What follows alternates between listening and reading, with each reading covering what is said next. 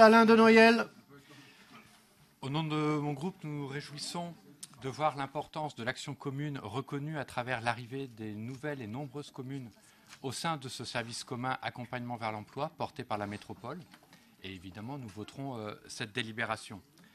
D'autant que euh, cette extension permet de souligner les résultats positifs des actions menées par ce service pour les personnes en difficulté d'accès à l'emploi sur les territoires couverts.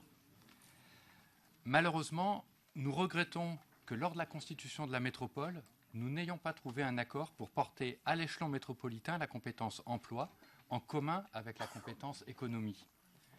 En effet, au-delà de cette extension du service commun, cela nous empêche d'avoir une action avec des critères et des moyens d'action communs pour l'ensemble des habitants sur tout le territoire de la métropole.